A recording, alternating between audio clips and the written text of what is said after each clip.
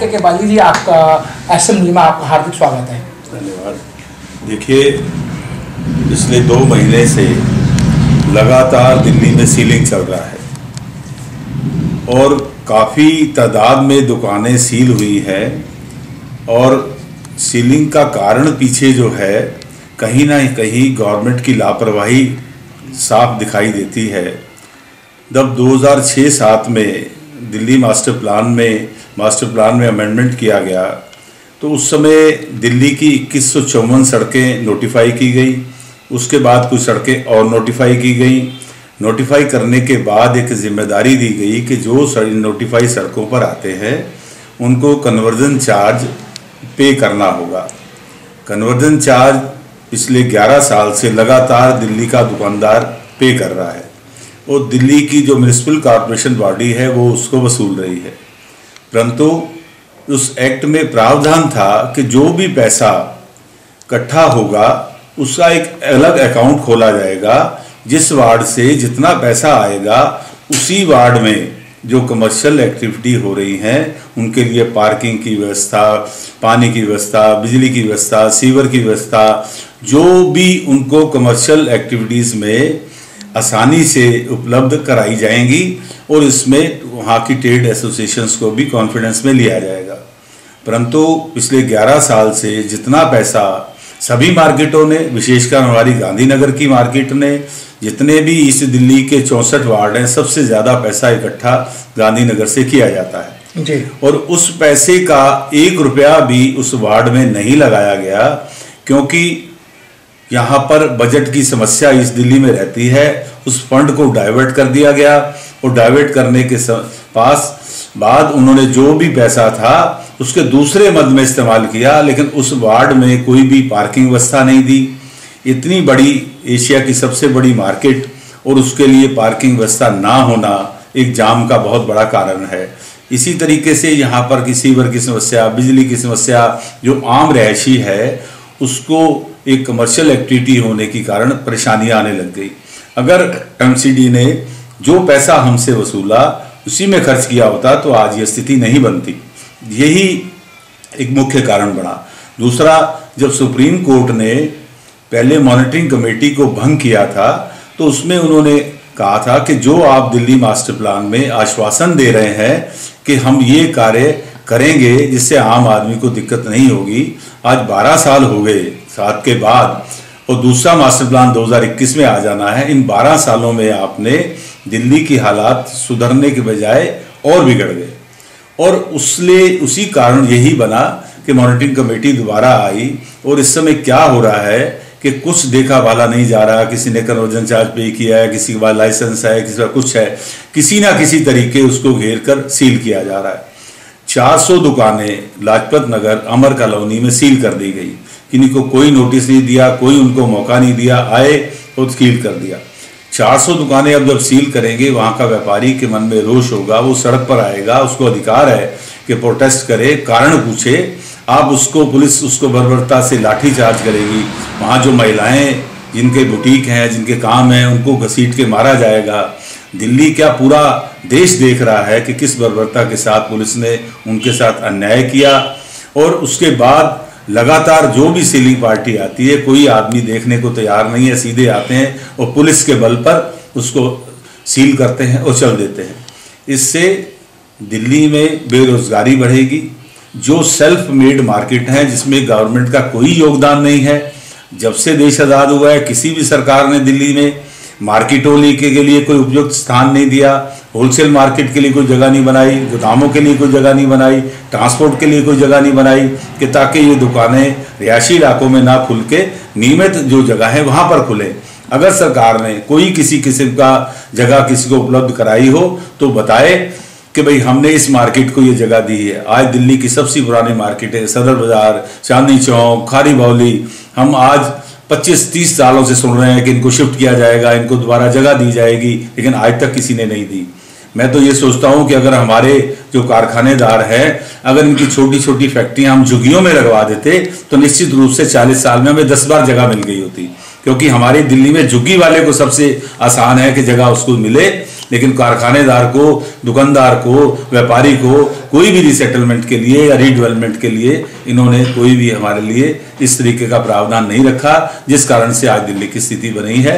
मैं इसके लिए केंद्र सरकार को दिल्ली सरकार और नगर निगम तीनों को दोषी मानता हूँ कि इन्होंने कोई भी ऐसी प्लानिंग नहीं की कि दिल्ली का ढांचा साफ़ सुथरा रहे दिल्ली का पोल्यूशन साफ़ सुथरा रहे दिल्ली में हर तरह की, की समस्या हो। तो मेरा यही अनुरोध है कि सर अभी जो इस दिल्ली के मेंबर ऑफ़ पार्लियामेंट हैं।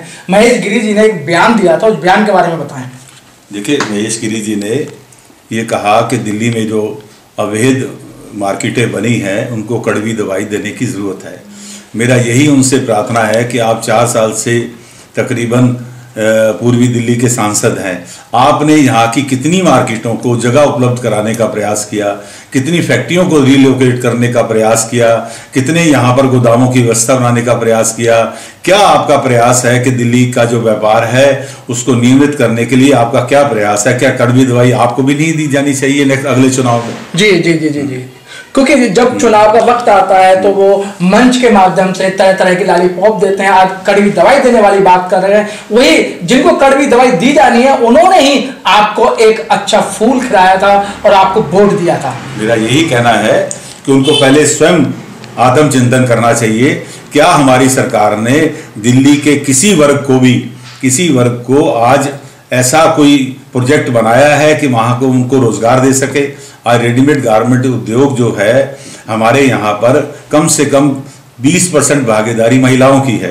जितने भी छोटे छोटे कारखाने खुले या किसी भी कारखाने में आप चले जाइए आपको 10-15 महिलाएँ काम करती मिलेंगी जो सहयोग कर रही हैं बच्चों का पालन पोषण कर रही हैं और इतना बड़ा रोज़गार देने वाली एक इंडस्ट्री हमारे देश में जो एग्रीकल्चर इंडस्ट्री है उसके बाद टेक्सटाइल इंडस्ट्री का नंबर आता है जो सबसे ज़्यादा रोज़गार देती है। सर कुछ नेताओं का मानना ये है कि जो आज व्यापारी हैं ये राजनीति के चक्कर में फंस गए हैं कि राजनीति के तहत इस तरीके का काम हो रहा है। देखिए आज हम लोग सभी राजनीतिक पार्टियों के पास जाकर गुहार लगा रहे हैं। हमें किसी भी राजनीतिक दल में से ना कोई लेना देना है। आज हम, हमारे जो दिल्ली के मुख्यमंत्री हैं, केजरीवाल जी, उनके पास गए हैं, उनके पास समस्या रखी है, उन्होंने हमारी बात सुनी है। हमें आश्वासन दिया कि हमारे जो डीडीए के मेंबर हैं, एस के बग्गा जी और सोमनाथ भारती जी, वो आपकी बात को उठाएँगे। उन्होंने उठाया है। बात उठाई है, उसके बाद प्रेस कॉन्फ्रेंस में भी गांधीनगर का नाम लिया है। संजय सिंह जो जब राज्यसभा में चुन के आए, उनका पहला भाषण आया तो उसमें भी गांधीनगर का नाम लिया गया। उधर दूसरी तरफ़ मनोज तिवाड़ी जी से हम मिलने कर गए थे। उन्होंने हमारे लिए सामने ही डीडीए के वाइस चेयरमैन को फ़ोन करके समय लिया और कहा कि जो छोटा रोज़गार है, जो एक छोटी कॉलोनियाँ रिसेटलमेंट कॉलोनियाँ अनऑथराइज से ऑथराइज हुई कॉलोनियों में लोग कर रहे हैं, लाखों की संख्या में कर रहे हैं। वो लोगों को बेरोजगार करना और उनको सड़क पे लाना ये उचित नहीं है। और उसको उन्होंने हमें आश्वासन दिया कि हम हर हालत में यहाँ की फैक्ट्रियों को बचाएँगे यहाँ के दुकानों को बचाएँगे। हम अजय सत्ता में सत्ता में होते हुए भी वो डीडी के चेयरमैन को प्रसन्न कर रहे हैं कि भाई आप इस तरीके की कार्रवाई कीजिएगा। सर जो एक सप्ताह में होने के बावजूद अगर जो सत्ता में सीधा कहेंगे भाई ये काम नहीं होगा तो नहीं होगा तो नहीं होगा लेकिन उनकी कहीं कहीं एक कहते हैं ना कि जुमला सरकार है।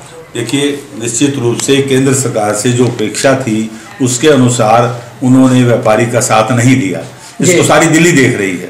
सारी दिल्ली देख रही है कि केंद्र सरकार को जो उचित कदम उठाए जाने चाहिए थे सीलिंग रोकने के लिए उन्होंने नहीं उठाए। कारण ये है कि इस समय पार्लियामेंट चल रहा है, बजट सेशन चल रहा है, दोनों हाउसेज में काम हो रहा है। इस समय बहुत अच्छा मौका था कि आप ये सीलिंग को रोकने के लिए कोई उसमें बिल लाते, दोनों सदनों में पास करा के उसका एक कानून का रूप देते और आज सीलिंग नहीं होती। लेकिन कहीं ना कहीं उनके द्वारा, केंद्र सरकार द्वारा जो कदम उठाए जा रहे थे, निश्चित रूप से वो नहीं उठाए गए।